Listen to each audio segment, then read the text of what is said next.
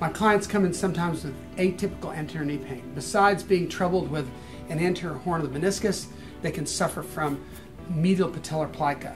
And that plica gets thickened, it gets irritated, and it gets caught in between the patella and the femur. So we need a good test. The test we like to use is the Martens plica test, where we'll go to the halfway point of the medial border of the patella. I'll take my thumb and place it at that point perpendicular to that border. I'll elevate the knee into slight flexion, move the patella in a cranial lateral direction, compress where the patella would catch that plica over the femoral condyle, and then I'll move the knee through an, a small arc of flexion extension.